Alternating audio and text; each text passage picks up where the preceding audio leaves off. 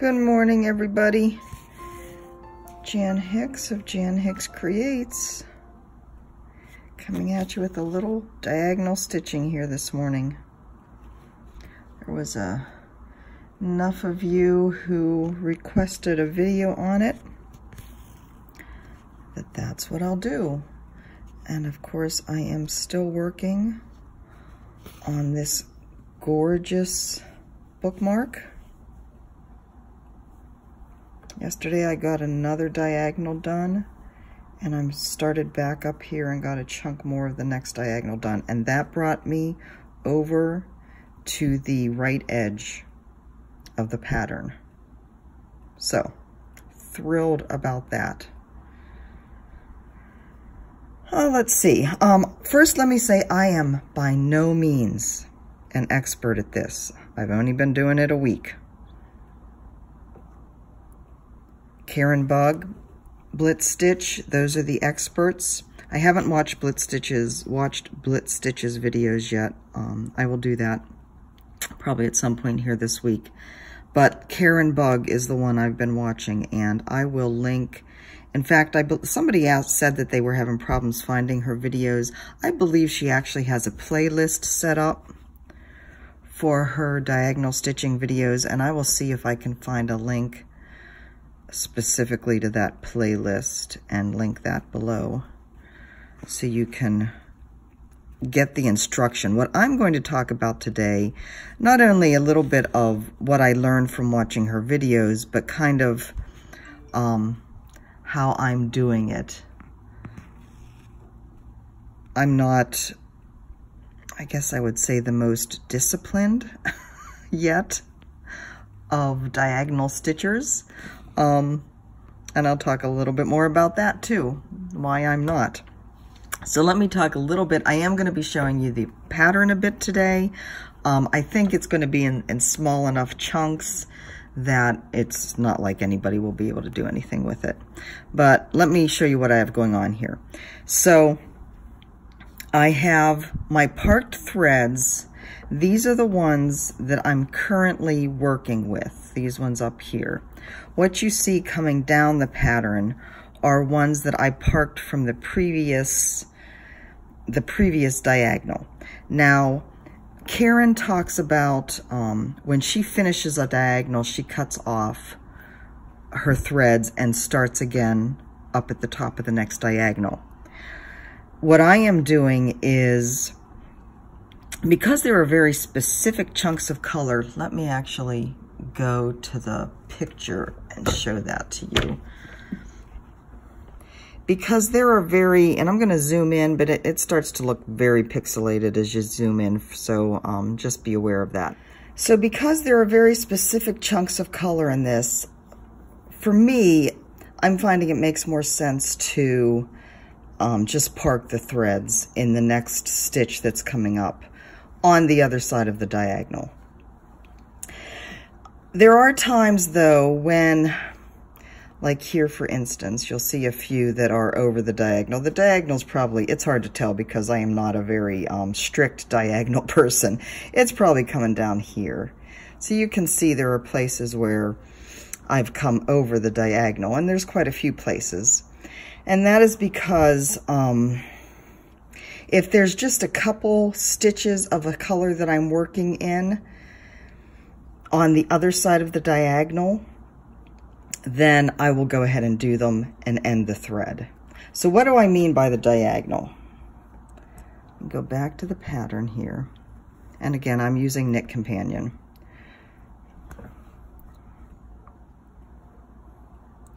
So the blue lines are the diagonal, and you can see it is going from corner to corner of the 10 by 10 grids and you can see in the yellow where I've where I've stitched and where I've gone over the diagonal. Now this down here is my previous stitching method, my kind of cross country, quasi cross, quasi cross country. Say that five times fast. Um, but up in here, this is where there's been a few stitches where it just made sense to go across the diagonal and finish them off there. No, that's actually previous stitching up in here. But anyways, there are places where that happens. I am currently right here. So, all right, so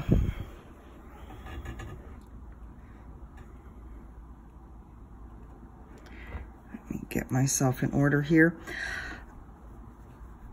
What the stitching on the diagonal like this means, so you're working across the 10 by 10 grid on the diagonal. So you're working basically a row at a time. And what that means is that there are a lot of um, threading and unthreading the needle, right? Every time you change colors. And some patterns, you know, that some patterns you're going to be able to do a lot, and some patterns you're changing the needle with every stitch. And that's almost how it is with this pattern. There is a lot of confetti.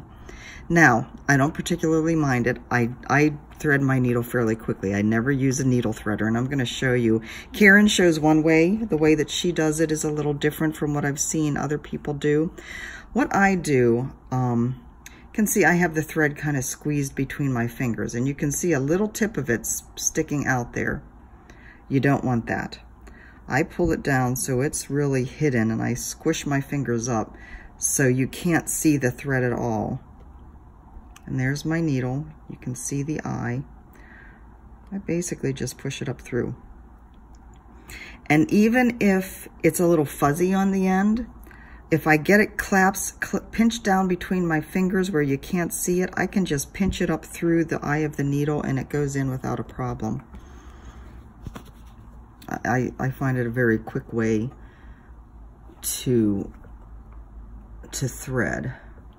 So I have three stitches here that I'm going to be doing. I happen to have three in a row. Woohoo! That doesn't happen very often. Um, so I'll work those three stitches and my diagonal, let's see.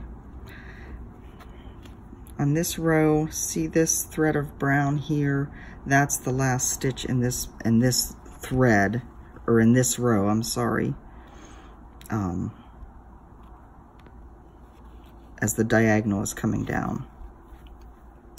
So the things I really, I started to talk about what I really like about working this way in my last video, and I kind of forgot a couple of the reasons. I'll try and remember now. I woke up really late this morning. I didn't wake up until like after 7. I never sleep in that long.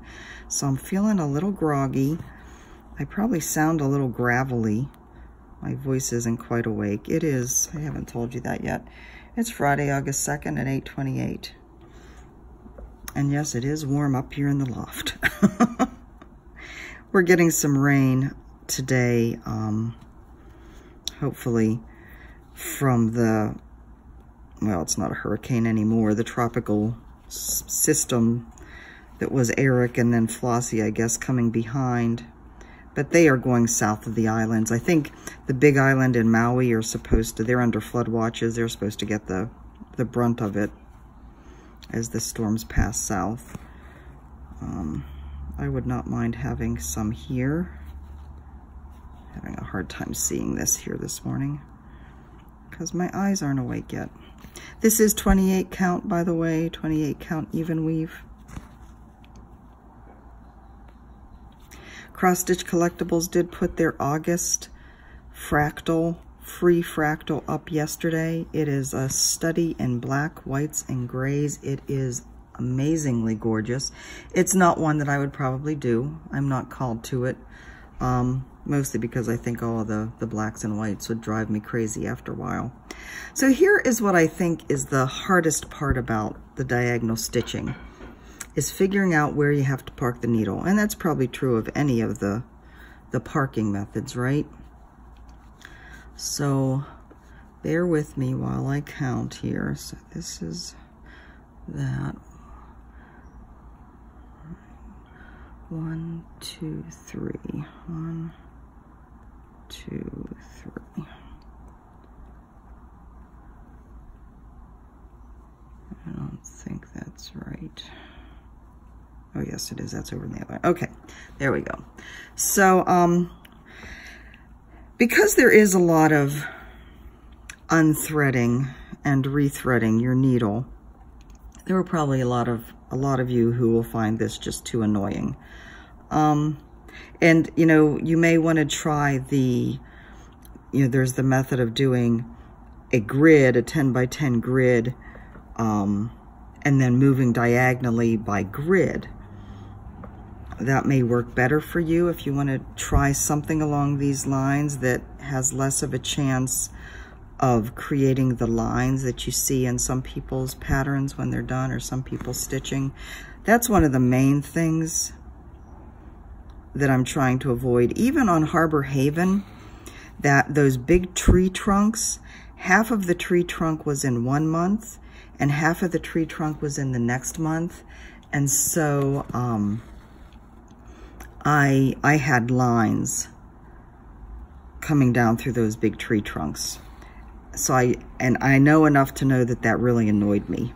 I didn't go back and do anything about it, but it really annoyed me. So that's what I'm trying to avoid here. So far, I have no lines on this at all. And perhaps that, that 10 by 10 grid stitching, you wouldn't have lines either. I am not sure. The other thing, so one of the others, see, I'm not sure what direction my, my thoughts want to take me today. Um, I mentioned in my last video that one of the things I found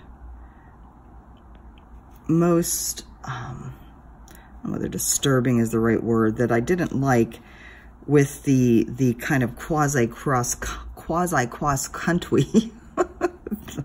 I crack myself up. It's early, people. Give me a break. One, two, three. Where am I going here? I need to be four over.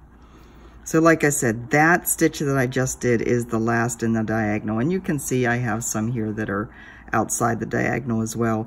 Up here, these are the last, just, I have a feeling this red here is probably starting the, um, the next swath of red because remember these fractals that they do, they're taking the center of a complete pattern and putting it up for free. So this is probably a red swath starting down here on the complete pattern. Um, and these here were the last stitches in this color in this complete area. So I just did them.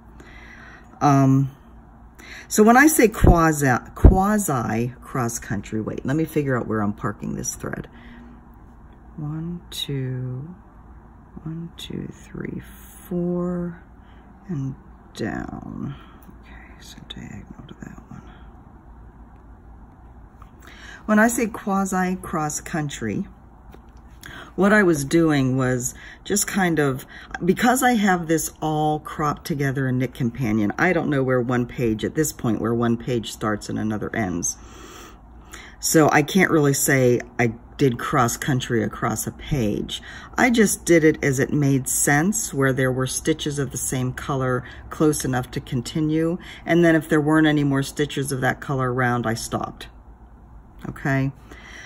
So what I was finding is that there were a lot of single stitches buried in here. That was a pain, and I, I wanted to get away from that. I also would find that because I was doing these jumps, not only would I have problems um, keeping track of where I was, even though I, I'm marking it all off in Knit Companion as I complete stitches, right? That's what all the yellow, what all the yellow is. Um, I would still have problems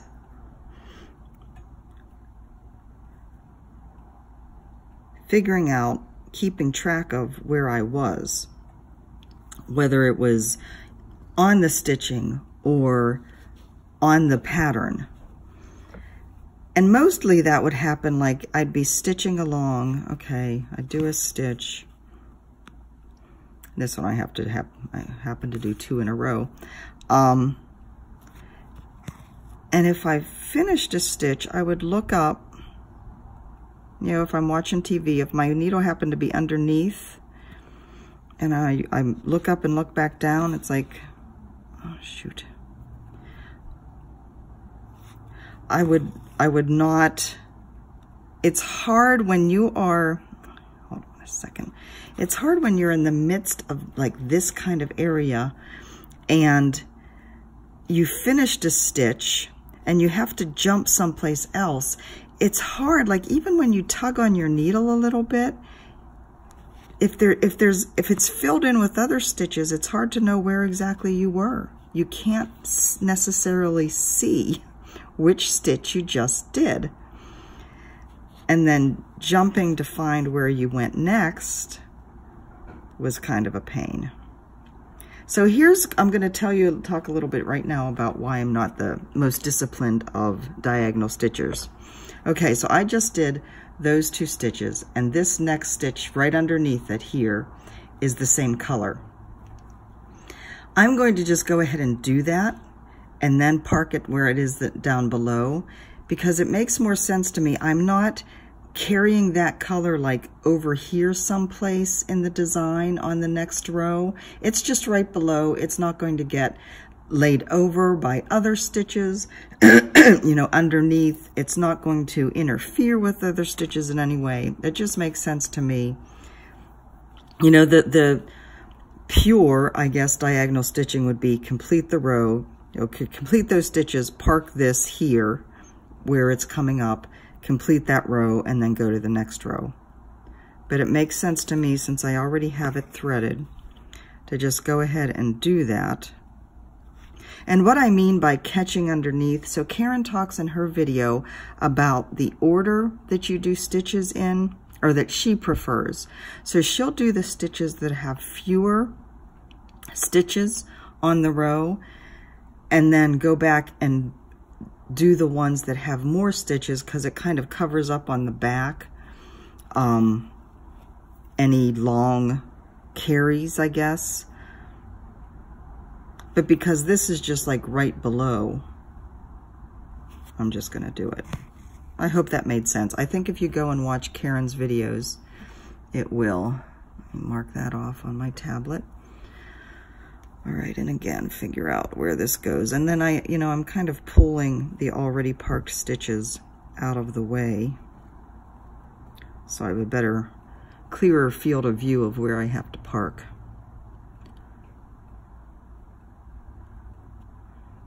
There, that is two, so I believe that is right there. Is that right?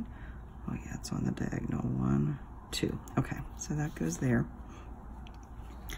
So the other thing I like, okay, so it keeps my, it makes it easier for me to know for sure where I am in the pattern, whether it's on the fabric or on my iPad.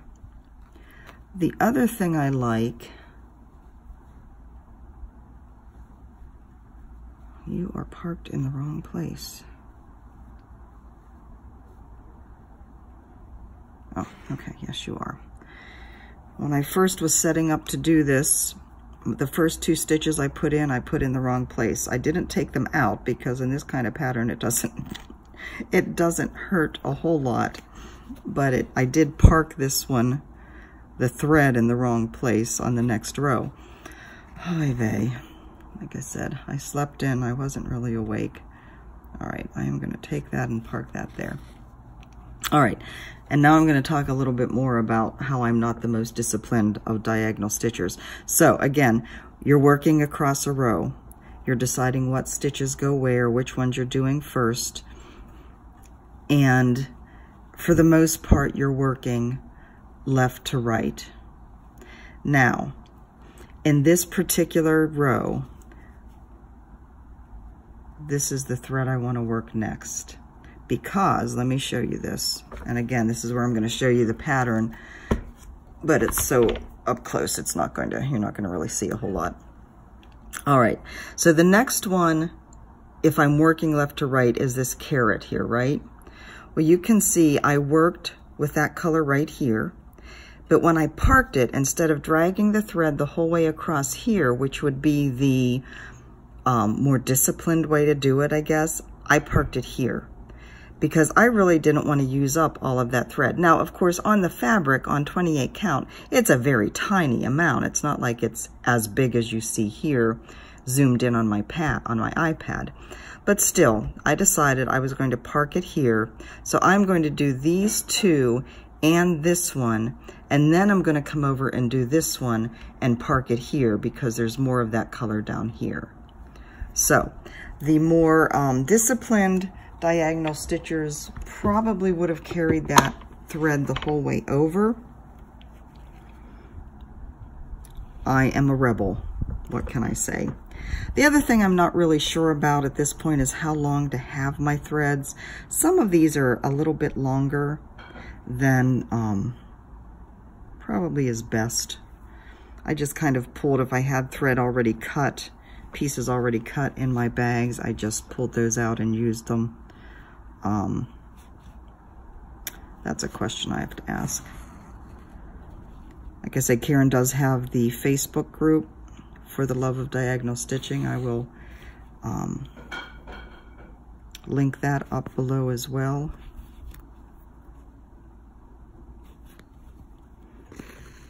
So doing these two, I'm going to come down and do this one.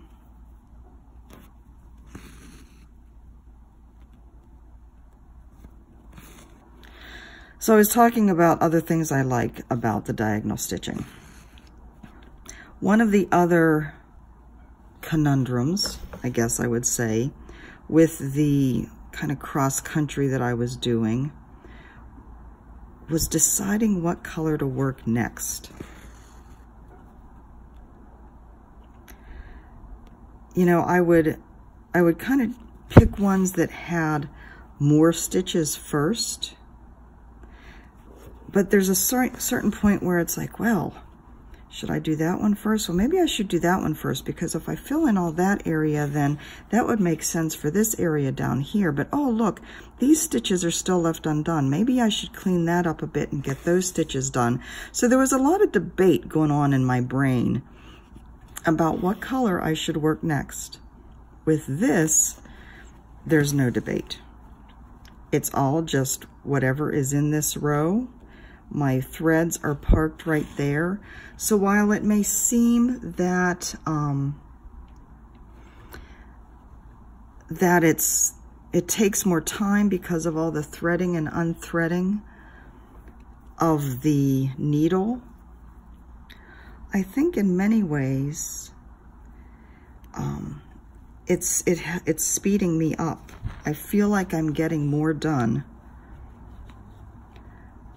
now, probably a lot of you just asked, well, Jan, are you going to keep doing this or are you going to go back to your other patterns? I don't know. I'm getting a little bit tired of the of the confetti. Um, also because I'm, you know, I can't do the sewing method on this.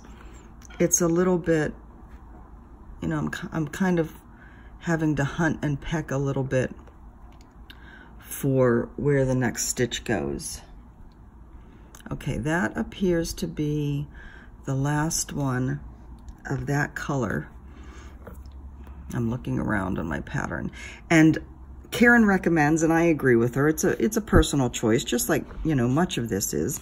But Karen recommends that you don't jump more than 10 lines, excuse me, 10 rows. And so that's kind of what I've been going with, the, the, kind of that standard. So that is the last one of that color. So now you get to see my back because I'm going to end off this thread. Now there are, there are a lot of people like on the, um, there's a thread the other day on the Facebook group, the For Love of Diagonal Stitching Facebook group to show your backs. And several people were saying that they think their backs are neater doing it this way. I'm just going to put that there. Um, that it, it creates a neater back. I am not seeing it yet, really. So I would say this much is what I had done with the previous me method.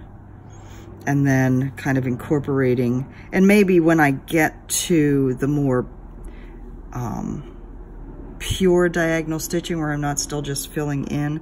But even so, I, I still think my back backs are pretty matted is the word I use. So, Still pretty though with all those colors, right?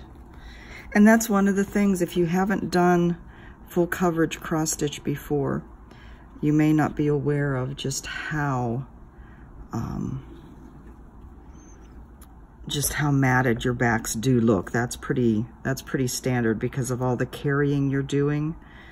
Um, and there are times that you really kind of have to dig to get your needle through the, the layer of threads on the back. So yeah, I am, I am really quite enjoying this. Like I said, I feel like I'm, I'm getting quite a bit done. I don't know whether it would be as much as um, if I did the grid, the 10 by 10 grid diagonally. You know, maybe when I start um, Farewell to Anger, maybe I'll test out the 10 by 10 grids first. I don't know. I do feel like this is a logical way to do it. And, you know, maybe with the 10 by 10 grid, there wouldn't be as much um, needle changing. There wouldn't be as much, um, there would still be some hunting for the symbol, but not as much as what I was doing before. So maybe it would be, you know, I don't know, but I, I am really enjoying this right now. And so I'm going to stick with it. I hope you found that useful. Um, I can't think of anything else I wanted to tell you. Like I said, I will link Karen's um, playlist for the diagonal stitching below as well as the Facebook group. And I'll also link this month's free fractal at Cross Stitch Collectibles if you want to check that out. So let me know if you have any questions. Like I said, I am not an expert, but I will help you where I can, or I will direct you to Karen if I can't help. So I hope you guys have a fantastic day, and I will see you. I think I will be back on Monday with a, another punch needle. A lot of people, I think, really enjoyed that, and I had quite a few questions that I will try to answer.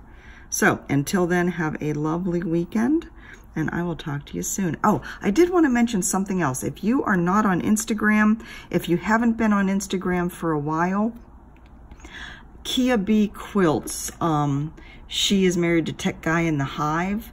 They have come up with a kind of a get to know me, um, one of these question and answers. You post a picture and talk a little bit about yourself. It started yesterday on October, or on October, no, not October yet, August 1st.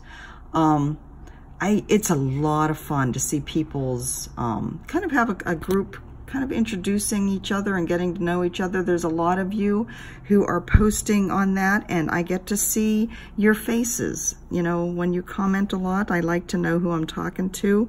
And um, I just love that. So I highly encourage you, if you haven't been on Instagram for a while, come and join in. The hashtag is Common Threaded Stitcher. So look for that and join in on the um, on the month of fun. Until, let's see, until Monday or until I see you on any of the social medias, um, have a great weekend and I will talk to you soon. I love you guys. Bye-bye.